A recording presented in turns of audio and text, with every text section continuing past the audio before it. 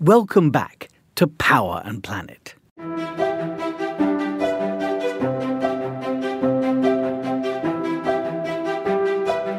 Today, I want to talk about something that sounds obvious, but isn't. When we think about disasters, we think about insurance. If there's a risk, insure it. But here's the practical truth you could insure yourself against many things, but not climate change. The costs of climate related disasters are already staggering for some countries. Because we didn't cut harmful emissions, we now face climate shocks of escalating scale and frequency. And because we've not invested enough in resilience, those shocks are getting even more destructive. According to the Songwe Stern report of 2022, developing countries outside China, those countries least able to afford it, need collectively between 200 and 400 billion dollars a year to respond to the loss and damage from climate related shocks and rising. Other studies since have reported similar numbers. To put that into perspective, all the aid in the world on everything, not just climate, or overseas development assistance, ODA as it's called, is less than $200 billion a year and falling. Take one recent example the floods that hit southern Brazil in 2024 and in 2025. Together, they cost close to $30 billion, and that's just one country. When I worked in the Caribbean, insurance came up all the time. After every major hurricane, some donors would introduce us to insurers promising coverage for next time. In response, the Caribbean pioneered the first ever regional public insurance pool in 2007, CRIF, the Caribbean Catastrophe Risk Insurance Facility. I know it well. I once ran the Barbados insurance regulator and got involved in negotiating and paying the annual premiums for a bit. And before I returned to the Caribbean, I'd built a career in London on financial risk, developing risk tools which won some awards, contributing to banking and insurance reforms. And I've been on the boards of a few insurers. The point being, I've seen insurance from quite a few angles. And what I learned is this climate change is becoming an uninsurable risk. Because climate related losses are becoming more certain, larger, and more frequent.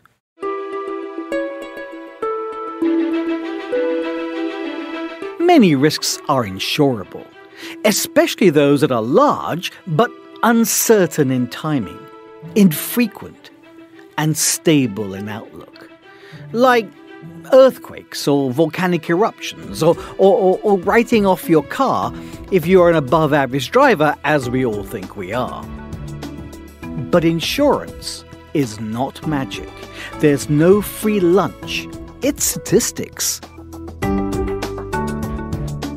If climate related loss and damage is running at, say, $200 billion a year and rising, then annual insurance premiums to cover it would also have to be $200 billion a year and rising.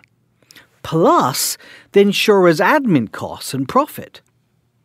For the poorest climate vulnerable countries that contributed little to the stock of greenhouse gases in the atmosphere, that seems like victim pays just in installments. Insurance works best when disasters are rare and uncertain like a once in a 20 year write off of your car. Then it makes sense to spread the cost over time. But climate disasters have become more certain and more frequent. The tail risks, those extreme rare events you can and should insure against, have moved to the center of the risk distribution, almost commonplace.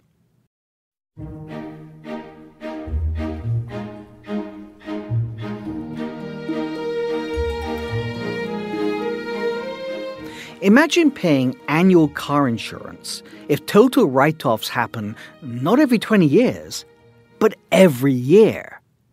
Your annual premium would be higher than the cost of the car, from much benefit to little benefit. The spreading power of insurance requires uncertainty to spread across other risks and infrequency to spread across time. Climate shocks no longer conform to that. Another important feature is that insurance is annually renewable. Insurers can consider the risks one year, market annual policies, collect premiums, and the following year walk away exactly when the insured are most vulnerable. And they've already started walking away from wildfire insurance in California, flood insurance in Florida. So, even in the richest parts of the richest country where they have most to give up. The climate vulnerable have become like prospective private health insurance clients with a pre existing medical condition. Unwanted. Insurers counter that they can provide insurance more cheaply through parametric insurance. That's where instead of coverage for all loss from any event, there's a fixed payout connected to a few predetermined events.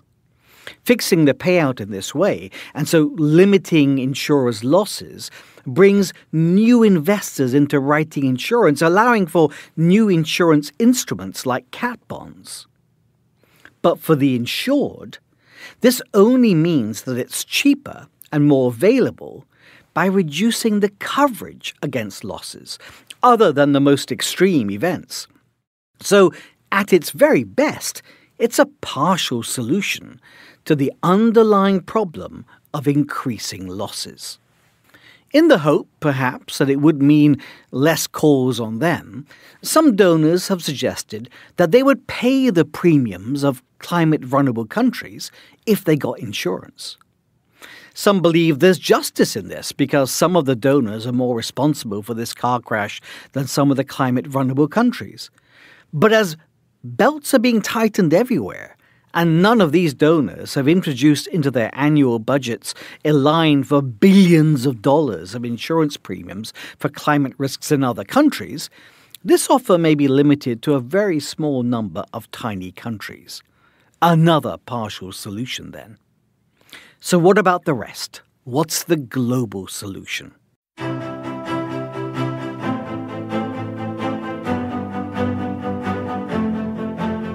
Here's the good news.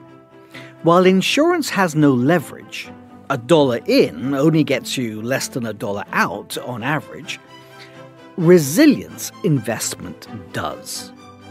Research from the IDB in Peril and Promise, published earlier this year, and a report by the WRI, also out this year, shows that a dollar spent on resilient public infrastructure saves $10 in the future in avoided losses. If we invest now in flood defences, climate smart agriculture, stronger schools and hospitals, we reduce common losses and push the big losses from disasters back into the tails of the distribution, back into the rare and uncertain zone where insurance makes sense again. Climate vulnerable countries need low cost, long term loans to fund investments that provide multi year resilience, helping them to pay back the loans many times over with the avoided losses and savings. As a group, AAA rated multilateral development banks, with the support of their shareholders, are best placed to deliver low cost, long term resilience investment loans that developing countries need if shareholders were to complete the capital adequacy reforms to raise their lending headroom, approve better resilience loan instruments, and give resilience and adaptation even more priority than they do collectively on average. The IDB is targeting 50% of climate finance on resilience, up from 30%. That may seem low, but MDBs measure resilience in a particular way. Only the resilience part of a loan, not the whole loan, is counted. So if the difference in a resilient bridge over the earlier one is an extra 20% of the loan, only 20% of the loan is counted as resilience finance. There could be five times as many resilience loans as loans to reduce harmful emissions, say, but if the resilience part were only a fifth of those loans, the measure would say that resilience was only 50% of the multilateral development bank's climate related finance. So 50% is not as easy to achieve as it may appear. Nevertheless, while multilateral development banks do not have the identical mandates, I encourage others to follow where it makes sense for them.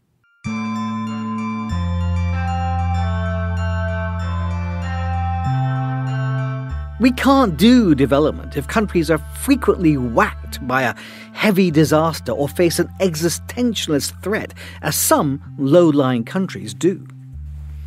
Of course, a major challenge is that while borrowing for resilience investments that generate savings greater than the original debt is the prudent thing to do, many climate vulnerable countries are already up to their neck in debt partly because that's how they've been absorbing the loss and damage from climate disasters. That's why these resilience loans need to be low cost and repayments spread over as long a period as possible.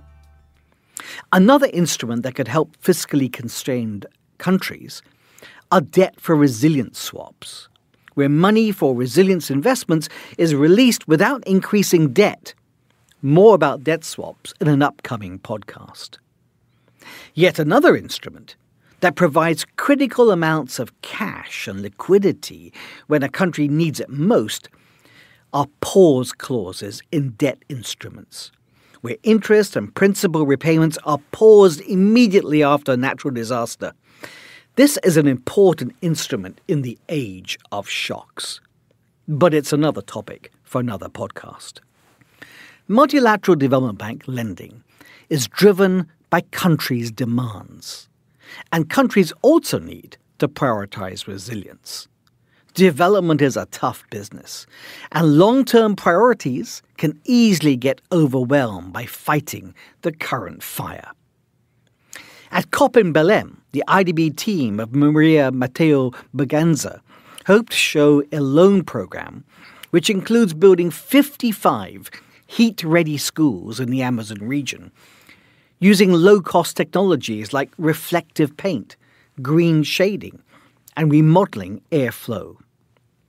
These adaptations can lower temperatures in schools by up to 10 degrees, improving learning and students' futures by a multiple of the cost of the investment or even a hypothetical cash payout.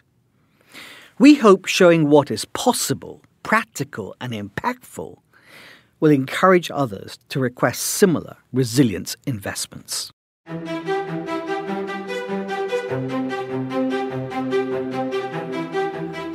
Insurance has its place, an important one. We need insurers to stay in countries because banks and investors rely on them for so many other things. The whole economy does. And they could bring their expertise to help governments map out the public investments in infrastructure that allows them to stay in. Many insurers want to help where they can, but the bottom line is this climate change isn't another insurable event, it's a structural shift. A shift that has occurred and is still occurring. Greater certainty of rising losses more frequently. We can't pay our way out of this shift with higher premiums. We must build our way out of it with resilience. Thanks for listening. This has been Power and Planet.